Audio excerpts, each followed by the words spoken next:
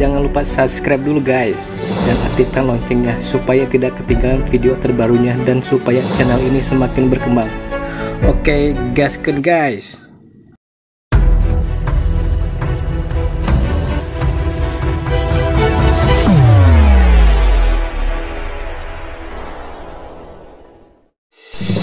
Oke teman-teman, kembali lagi di channel saya. Setelah episode sebelumnya yang sangat seru, kini kita kembali dengan episode yang baru dengan bocoran cerita yang saya angkat dari novel. Dan jangan lupa subscribe dulu bagi kalian yang suka. Dan sekarang saya mau menceritakan bocorannya kembali. Dan jangan lupa untuk subscribe. Klik loncengnya dan juga lupa like. Selamat menikmati. Gasku. Melihatnya, Long Hao Chen merasa terguncang.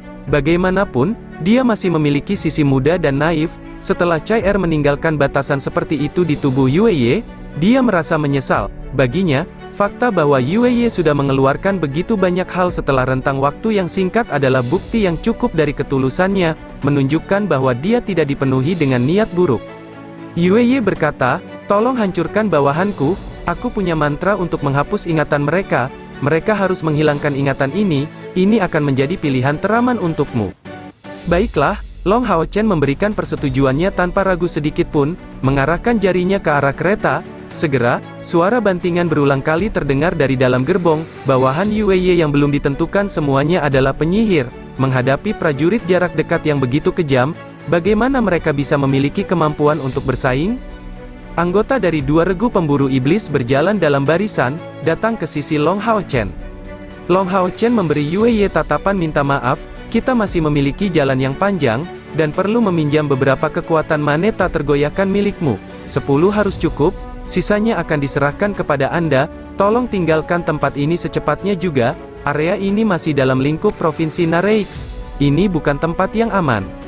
Ia mengerti, Yue telah benar-benar berubah dari penampilannya yang sangat cerdas sebelumnya, menjawab dengan patuh, seperti seorang pelayan yang melihat tuannya.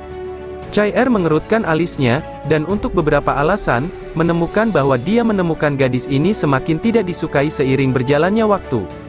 Mata Long Hao Chen berbinar, ayo, saatnya berangkat. Semua orang menerima kekuatan maneta tergoyahkan, dan selain Long Hao Chen, Li Xin dan Chai yang tidak membutuhkannya, semua orang memilih satu, dan mendapatkannya, di bawah pimpinan Long Hao Chen, mereka berpacu dengan kecepatan penuh. Mengikuti sosok mereka yang pergi dengan matanya, Tatapan Yue Ye berangsur-angsur berubah menjadi lebih dingin, tanpa sadar meletakkan tangan kanannya di dada kirinya, dia menyentuh titik lemah. Pada titik ini, Yue Ye mengungkapkan ekspresi yang bangga, dia tidak berbohong kepada Long Hao Chen, dan benar-benar putri dari klan Iblis Bulan, dan tidak keberatan mendukung dua pasukan pemburu Iblis Long Hao Chen, satu-satunya alasan untuk ini adalah karena Long Hao Chen. Kecuali untuk membalas budi kepada penyelamatnya, dia punya alasan lain untuk melakukan ini. Meskipun Yue Ye memiliki darah manusia, membuatnya tidak dapat menggantikan Dewa Iblis Bulan. Sebagai pemegang gelar Bulan Baru, dalam klan Iblis Bulan, bakat bawaannya sangat tinggi, dan kebijaksanaannya jauh melampaui teman sekelasnya. Bahkan Dewa Iblis Bulan sangat bergantung padanya di sisi ini, dan dia bisa dikatakan sebagai jenius terhebat dari klan Iblis Bulan. Dengan demikian, Yue selalu dipenuhi dengan kebanggaan ekstrim sejak masih sangat muda. Karena keunggulannya, banyak dewa iblis peringkat tinggi menyatakan keinginan untuk menghubungkan penerus mereka dengan dewa iblis bulan melalui pernikahan, tetapi Yue menolak semua lamaran ini tanpa ragu-ragu. Ketika dia menolak mereka, dia hanya memiliki satu penjelasan untuk ini, bahwa di antara teman-temannya, dia hanya akan menganggap seseorang yang kekuatan dan kecerdasannya melampaui dirinya sebagai seseorang yang memenuhi syarat untuk mengambilnya sebagai istrinya.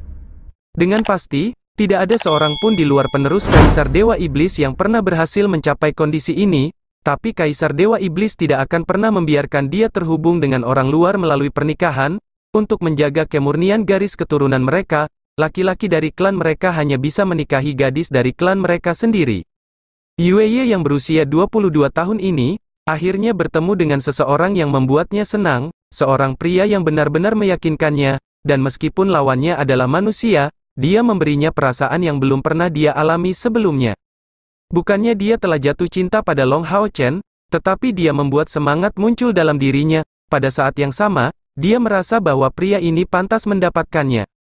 Kata-kata Yue sebelumnya berasal dari bagian terdalam hatinya, dia tidak pernah menganggap dirinya sebagai iblis, dia juga tidak menganggap dirinya sebagai manusia, ke salah satu dari kedua belah pihak, dia tidak merasakan keterikatan yang besar atau penolakan yang ekstrim. Apa yang dia ikuti adalah cita-cita bahwa hanya yang kuat yang pantas dihormati. Dengan kilatan cahaya, sebuah gulungan muncul di tangan Yue dia tanpa tergesa-gesa berjalan ke depan kereta, membuka gulungan itu, dan dari situ, nyala api yang kuat segera tersulut. Secara sepintas, dia melemparkan gulungan itu ke dalam kereta, sebelum menutup pintunya. Beberapa detik kemudian, ledakan keras terdengar dan gerbong-gerbong berat ini ikut terangkat bersamanya. Tapi gerbong ini memang tahan lama, karena tidak meledak bahkan dalam keadaan seperti itu. Di kursi pengemudi, Leng Xiao dikirim terbang ke atas, dan kekuatan Mane yang tak tergoyahkan berpikir untuk melarikan diri. Tetapi kereta itu terlalu berat, dan tanpa teknik mengambang diluncurkan, bahkan jika mereka mau, mereka tidak dapat mulai berlari. Hanya orang mati yang dapat menyimpan rahasia dengan kepastian terbaik. Ekspresi Yue Ye tenang, seolah-olah dia sedang mengurus hal-hal yang tidak penting. Setelah dilempar ke bawah, Leng Xiao kembali sadar. Apa yang sedang terjadi? Leng Xiao menatap Yue Ye. Sepasang mata ungu Yue Ye tampak dipenuhi dengan penyesalan yang mendalam, hanya menatapnya diam-diam, dan mata Leng Xiao perlahan-lahan tertutup, memasuki tidur. Benar, Yue Ye memiliki kemampuan untuk menghapus ingatan, tapi sayangnya, kemampuan ini datang dengan konsumsi yang sangat besar, jadi dia tidak bisa menggunakannya pada banyak orang, dia bisa membunuh bawahannya untuk membungkam mereka, tetapi tidak bisa melakukan hal yang sama dengan Leng Xiao. Setelah meninggalkan gerbong, Long Hao Chen dan kelompoknya tidak mengetahui apa yang terjadi, mereka sedang terburu-buru, dan saat fajar, mereka telah menempuh jarak hampir 100 km, dan memilih tempat terpencil untuk beristirahat. Jika sebelumnya, rekan-rekannya pasti akan mempertanyakan pilihan Long Hao Chen untuk mengampuni Yue Ye dan kelompoknya, namun, Kali ini, mereka sangat tenang, khususnya untuk enam orang dari pasukan pemburu iblis keempat, yang tidak memiliki pertanyaan sama sekali. Itu bukan karena takut, tetapi karena kepercayaan, karena mereka memiliki kepercayaan mutlak terhadap Long Hao Chen, dan sudah hampir bersedia mengikutinya. Sejak dia meninggalkan aliansi kuil, Long Hao Chen tidak pernah membuat kesalahan dalam keputusannya, menggunakan kemampuannya sendiri untuk membuktikan kemampuannya yang luar biasa sebagai komandan bagi semua orang. Kali ini, semua orang membawa persediaan air dan makanan selama tiga bulan perjalanan, jadi tidak akan ada masalah untuk makan dan minum, dan Long Hao Chen tidak memimpin mereka untuk segera pergi, tetapi membuka petanya sambil mengeluarkan barang-barang yang dia terima dari Yue Ye. Tolong ganti pakaian kalian, semuanya, dan gunakan yang ini.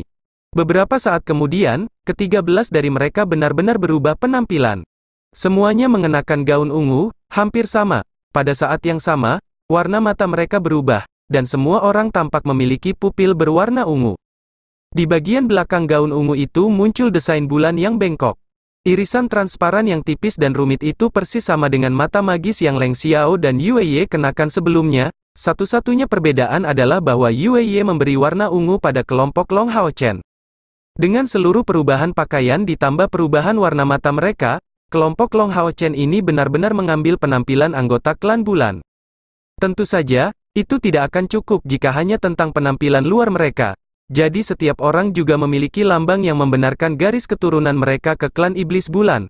Meskipun lambang ini bukan peralatan magis, itu membawa aura milik garis keturunan klan bulan, dan tidak mudah dibuat. Saat membawa mereka, kelompok Long Hao Chen secara alami melepaskan aura dingin. Kapten, apa yang harus kita lakukan selanjutnya? Haruskah kita benar-benar terang-terangan memasuki kota iblis, seperti yang dikatakan Yue Ye? Si Masian bertanya. Long Hao Chen menggelengkan kepalanya, menjawab, tidak, bagaimanapun juga kita bukan iblis.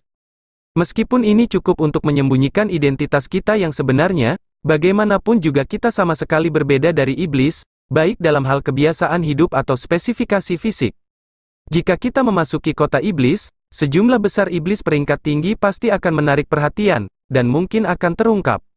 Selain itu, karena kita seharusnya adalah iblis tingkat tinggi, kita tidak seharusnya menunggangi binatang ajaib yang rendah seperti Mane yang tak tergoyahkan ini, kita harus meninggalkan binatang ajaib ini sebelum kita memasuki kota. Untuk alasan ini, saya sebelumnya melihat rute kami, dan karena persediaan kami cukup, saya memutuskan bahwa kami harus tetap berpegang pada rencana awal kami dan bergegas ke Desolate Hissing Cavern untuk menyelesaikan misi kami secepat mungkin.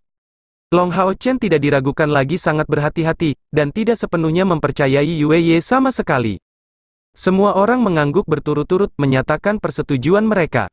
Long Hao Chen menyatakan ke sisi rekan satu timnya dari pasukan pemburu iblis ke-21, mari kita berkonsultasi satu sama lain nanti sebelum membagikan poin kontribusi.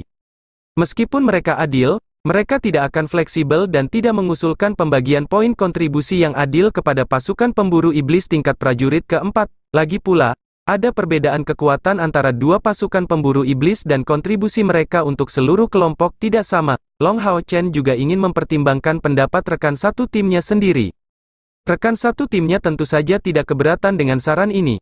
Memang, setelah memasuki wilayah iblis, mereka langsung menemui beberapa masalah besar, tetapi hadiah poin kontribusi mereka sama banyaknya. Di sisi pasukan pemburu iblis tingkat prajurit keempat, sejumlah besar poin kontribusi telah dikumpulkan, karena setiap Berserk Demons memberikan 4 poin kontribusi dan Birdi Demons memberikan 6 poin, jenis iblis lainnya juga memberi lebih dari sekadar iblis berbilah ganda. Penghasilan di pihak Long Hao Chen bahkan lebih besar. Iblis Berserk berdarah merah mati di tangan Long Hao Chen, sedangkan iblis Birdi emas mati di tangan Chai Er, dan nilai iblis yang berevolusi ini sudah melebihi seribu, sudah cukup bagi kelompok Long Hao Chen untuk memiliki banyak poin.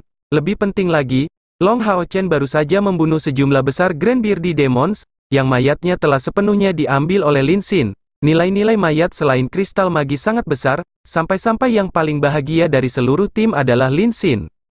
Dengan bahan sebanyak itu, saya akan membuat cukup banyak pil. Pil Lin Xin tidak hanya dapat dijual di mana saja, bahkan di pusat transaksi regu pemburu iblis banyak yang mau membelinya. Dapat dikatakan bahwa pendapatan pertempuran sebelumnya telah melampaui total keuntungan yang mereka hasilkan selama tiga bulan sebelumnya, tapi tentu saja, ini setelah menghilangkan keuntungan dari Light Elemental Spiritual Stove. Waktu istirahat singkat, dan di bawah pimpinan Long Hao Chen, mereka melanjutkan perjalanan, keluar dari Provinsi Nareix. Memanfaatkan peta, mereka melewati daerah terpencil sebanyak mungkin, Beberapa hari kemudian, saat sinar matahari mulai menyinari langit, mereka akhirnya berhasil keluar dari provinsi Nareix. Dan saat ini, Long Hao Chen akhirnya tidak bisa bertahan lagi. Belum diartikan pertempuran seperti itu menyebabkan konsumsi yang sangat besar pada Long Hao Chen, yang bisa dikatakan sangat kelelahan baik secara mental maupun fisik. Adapun luka yang tersisa di tubuhnya, kebanyakan dari penggunaan pengorbanan, selain penggunaan energi spiritualnya yang berlebihan. Bersama dengan beban yang dia miliki dari mengambil tanggung jawab untuk memimpin seluruh tim, penyembuhan Luxi hanya dapat mengobati gejala tetapi bukan akar lukanya. Selama periode Long Hao Chen tidak sadarkan diri, kedua regu pemburu iblis berdiskusi secara mendalam sebelum memutuskan untuk menetap di sini untuk beristirahat. Mereka berada di bukit-bukit terpencil, sejak sebagian besar wilayah Sengmo Dalu diduduki oleh iblis, tanah yang tidak subur menjadi semakin banyak, dan tanpa tenaga manusia untuk membajaknya, rumput liar tumbuh di mana-mana dari tanah subur. Di zona perbukitan, mereka menemukan area yang tidak terlalu mencolok untuk ditinggali untuk saat ini, sehingga untuk merahasiakan identitas mereka sebagai manusia, mereka tidak berani mendirikan tenda, dan hanya tinggal di daerah yang agak sulit untuk diperhatikan di ketinggian, mereka memilih untuk tinggal di sebuah gua yang dapat menampung semua orang untuk beristirahat dan mengatur ulang dengan tenang. Alasan keputusan untuk tinggal di sini dan beristirahat adalah sederhana, bahwa tim membutuhkan Long Hao Chen untuk membimbing mereka, bahwa tanpa dia, seluruh tim tidak akan mampu mengeluarkan kekuatan yang cukup, bergegas dengan tidak sabar hanya akan menghasilkan kebalikan dari hasil yang diinginkan, dan dengan demikian, akan lebih baik untuk beristirahat, membiarkan semua orang pulih sambil berkultivasi untuk mengubah potensi mereka dari pertempuran masa lalu menjadi kekuatan. Waktu istirahat ini berlangsung selama tiga hari penuh. Di bukit-bukit terpencil ini mereka memilih untuk menetap, yang seluruhnya dipenuhi rumput dan semak belukar. Sebenarnya, luka yang dibawa ke tubuh Long Hao Chen dengan penggunaan pengorbanannya pulih setelah satu hari, tetapi dia masih memutuskan untuk tinggal selama dua hari lagi. Untuk setiap panggilan yang ada, momen setelah pertempuran besar juga merupakan kesempatan paling ideal untuk berkuasa, Tujuan mereka bukan hanya untuk menyelesaikan misi pemburu iblis mereka, tetapi juga untuk meningkatkan kekuatan pribadi mereka sebanyak mungkin, mereka tidak perlu terburu-buru. Setelah energi spiritual internalnya menembus 3000-an, Long Hao Chen menemukan bahwa kecepatan kultivasinya telah meningkat dengan jelas, itu tidak hanya terkait dengan keberadaan Light Elemental Fiery Yating, tetapi persepsinya sendiri tentang esensi cahaya yang terkandung di dunia luar juga telah meningkat pesat. Secara khusus, Long Hao Chen menemukan bahwa tiga hari setelah pertempuran ini, energi spiritual internalnya sendiri telah meningkat dengan total lebih dari 100. Nyatanya, dia mencapai ranah energi spiritual yang benar-benar cair, yang menyebabkan peningkatan yang hanya bisa digambarkan sebagai menakutkan dalam kecepatannya yang semakin maju. Tetapi pada hari keempat, kecepatan kemajuannya jelas melambat, tanda bahwa efek dari kebangkitan potensinya yang disebabkan oleh pertempuran sebelumnya menghilang secara bertahap. Tetapi setelah memperhatikan dengan seksama, Long Hao Chen memperhatikan bahwa jika dia mengerahkan seluruh energinya untuk berkultivasi, energi spiritual internalnya akan meningkat setidaknya 20 unit setiap hari. 20, ini adalah angka yang menakutkan. Menurut kecepatan kultivasi ini, setelah paling lama dua bulan, dia akan mencapai ranah langkah ke-6. Tentu saja, Long Hao Chen tidak memberitahu yang lain tentang perubahan ini, karena dia tidak ingin meningkatkan harapan mereka secara tidak sengaja. Tapi dia diam-diam mengambil keputusan bahwa setelah menyelesaikan misi ini dan kembali ke kota suci, dia akan berlatih di balik pintu tertutup, berjuang untuk mencapai level Radiant Knight. Jika dia benar-benar berhasil meningkatkan kekuatannya ke langkah ke-6, mereka akan mampu membidik misi yang lebih menantang. Manes yang tak tergoyahkan berangkat lagi, menuju ke kedalaman wilayah iblis. Meskipun mereka hanya perlu menempuh jarak 2000 km dari kuil aliansi ke tujuan mereka saat ini, dalam praktiknya, mereka tidak mungkin mengambil garis lurus terus-menerus. Setelah tidak kurang dari tujuh hari perjalanan, mereka akhirnya mencapai provinsi iblis pusat, dan semakin dekat ke tujuan mereka. Namun, mereka tidak punya pilihan selain mengurangi kecepatan mereka pada akhirnya. Ini karena semakin dekat mereka ke provinsi tengah, semakin banyak iblis yang akan mereka temui, dan mereka bahkan sesekali bertemu manusia.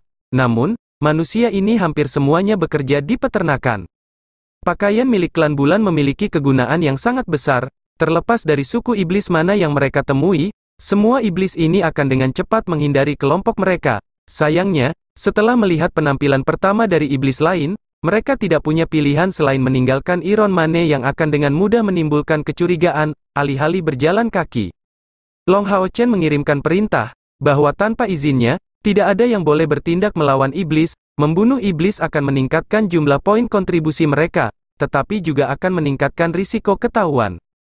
Meneliti peta dan dengan cermat mengintai medan, Long Hao Chen bahkan kadang-kadang menggunakan mata iblis Han Yu, untuk terbang di ketinggian tinggi untuk mengintai atau meminta bantuan Unicorn Mawar Lisin untuk membawanya ke udara.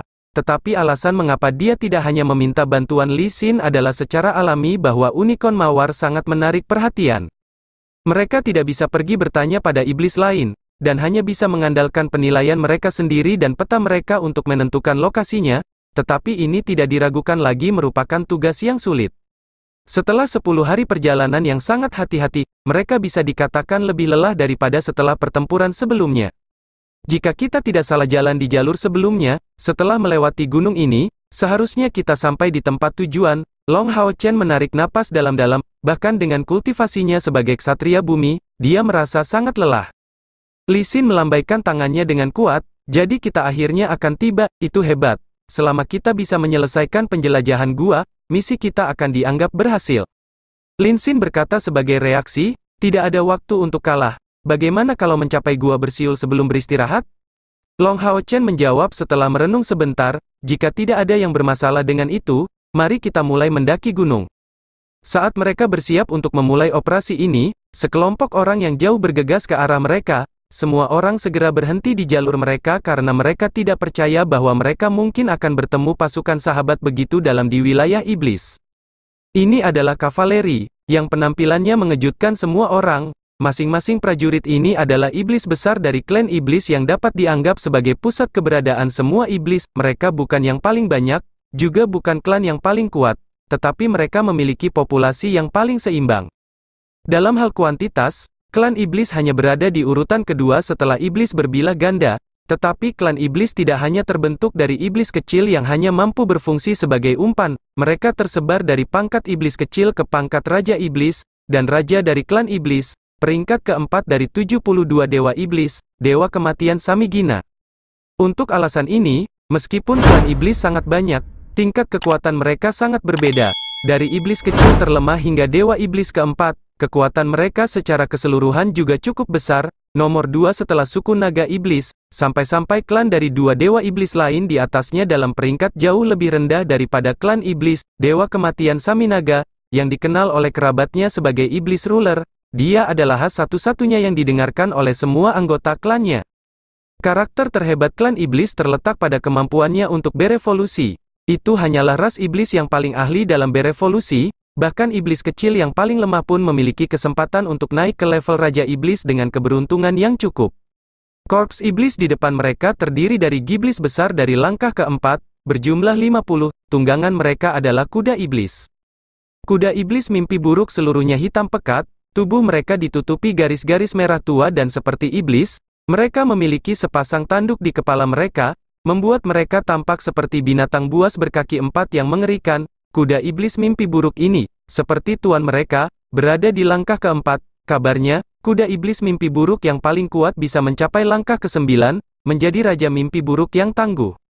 Para anggota dari dua regu pemburu iblis melihat pada saat yang sama di Long Hao Chen, dalam pertarungan 12 lawan 50, mengingat 50 iblis itu ditemani oleh 50 tunggangan, mereka tidak memiliki peluang sedikit pun untuk menang, belum lagi fakta bahwa mereka telah menembus jauh ke provinsi tengah iblis, di mana membiarkan satu musuh pergi akan mengakibatkan komplikasi besar. Long Hao Chen melakukan gerakan tangan, memberi isyarat kepada rekan satu timnya untuk tetap tenang, berjalan ke depan, kedua tangannya di belakang, dia memasang ekspresi angku di wajahnya, dengan cepat mendekati kavaleri iblis. Tim iblis besar dengan cepat mendekat, mereka dipimpin oleh iblis yang sangat tinggi, yang kuda iblis mimpi buruknya juga terlihat jauh lebih mengesankan daripada yang lain, dengan kilatan api, kuda-kuda nikmah devil tiba di jarak 20 meter dari Long Hao Chen sebelum berhenti. Kemudian, iblis besar yang mengendarainya turun darinya dan berjalan menuju arah Long Hao Chen. Komandan iblis besar ini memiliki sepasang tanduk berbentuk spiral, sayap seperti kelelawar, memiliki tubuh yang mengesankan dan cakar yang sangat besar, penampilan yang tampak garang, tubuhnya membawa bau amis yang menyengat, mengeluarkan uap hijau tipis. Di klan iblis, iblis besar milik faksi kekuatan absolut, dan ahli dalam pertempuran jarak dekat, takut akan sihir, terutama sihir tipe api. Fakta bahwa dia dapat menumbuhkan sayap membuktikan bahwa iblis besar ini telah memiliki kultivasi pada tingkat langkah 5, memiliki kemampuan terbang, pada level ini, dia bisa disebut sebagai komandan iblis. Cukup, berdiri di sana, jangan mendekat dengan tubuh kotormu, Long Hao Chen berkata. Melawan harapan, iblis benar-benar mendengarkan dan berhenti, tetapi berteriak es dan menjawab, bahkan jika Anda adalah bangsawan klan bulan, Anda tidak berhak menghina saya, iblis bulan. Iblis peringkat tinggi semuanya bisa berbicara bahasa manusia, dan di antara mereka, iblis klan bulan adalah yang paling menyukainya, ini juga alasan mengapa Long Hao Chen berbicara secara alami kepada Grand Vien ini, tapi sebagai perbandingan, lidah manusia Grand Vien jelas jauh lebih kasar dan gemetar. Long Hao Chen mendengus dingin, dan dia dengan gesit melemparkan lencana ke iblis besar ini. Komandan iblis buru-buru menangkapnya di telapak tangannya yang lebar, kemudian, mata hijau gelapnya menyusut tajam, dan lencana di tangannya hampir jatuh. Tiba-tiba melangkah maju, dia tiba-tiba berlutut di depan Long Hao Chen. Klan bulan yang terhormat, saya meminta maaf atas perilaku impulsif saya sebelumnya. Komandan iblis ini segera menjadi jauh lebih halus, dia masih membawa lambang ini di tangannya, tapi tidak berani mendekat. Dengan cahaya putih, lambang kembali di tangan Long Hao Chen, tepatnya dari daya tarik Sein Spiritual Stove. Tungku Sein Spiritual menggunakan energi tertentu, dan tidak benar-benar memiliki sifat ringan, jadi Long Hao Chen tidak takut ketahuan karenanya, yang paling penting adalah tidak membiarkan lawan mendekat, bagaimanapun, mereka adalah manusia, dan dengan demikian, mereka akan dengan mudah ditemukan oleh iblis dengan indera penciuman yang baik seperti iblis jika dia tidak memiliki lambang pelindung ini. Berdiri, katakan padaku, ke mana tujuanmu, kata Long Hao Chen?